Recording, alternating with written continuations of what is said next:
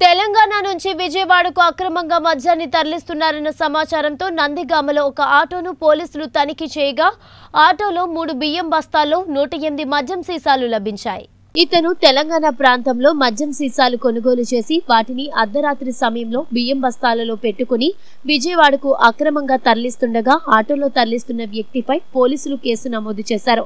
అక్రమ సంపాదనకు అలవాటు పడిన వారు వివిధ మార్గాల ద్వారా తెలంగాణ ప్రాంతంలో మద్యాన్ని కొనుగోలు చేసి ఆంధ్ర ప్రాంతాల అమ్మకాలు జరుపుతున్నారు. మేము హైవే మీద తనిఖీల్లో భాగంగా ఒక ఆటోలో ఈ యొక్క మందు బాటిల్స్ వస్తూ ఉన్నాయి. ఈ ఎలాగంటే ఈ ఈ యొక్క ఆటోలో మూడు రైస్ బ్యాగ్స్ ఉన్నాయి.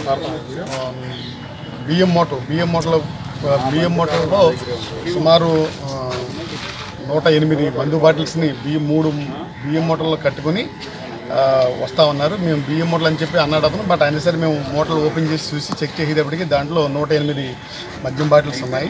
ఈ మద్యం బాటిల్ని సీజ్ చేసి అతను కూడా అతని మీద కూడా కేసు కట్టామండి ఇతను ఖమ్మం జిల్లా ఎవరిది? నుండి ఈ యొక్క మందు కొనుక్కొని మన ఏపీ స్టేట్లోకి వచ్చాడు. అతను ఆ చెక్ పోస్టులు దొరకకుండా ఉండడానికి ఏం చేశాడంటే ఖమ్మం జిల్లాలో కొనుక్కుని తర్వాత ఏం చేయాడంటే కాలువ దాటుకుంటూ ఆ, డొంకల్లో బయటకు వచ్చేసి తర్వాత మన ఏరియాకు వచ్చి ఆ పక్కన ఆటో అంతకుముందు ప్లాన్ చేసుకుని వేరే చోట ఆటో పెట్టుకుని ఆటోలో ఈ యొక్క దీన్ని ట్రాన్స్పోర్ట్ చేస్తూ ఉన్నాడు. మనం సనికిల్లో భాగంగా ఈ యొక్క మందు దొరకడం జరిగింది. అతని మీద ఎక్సైజ్ కేసు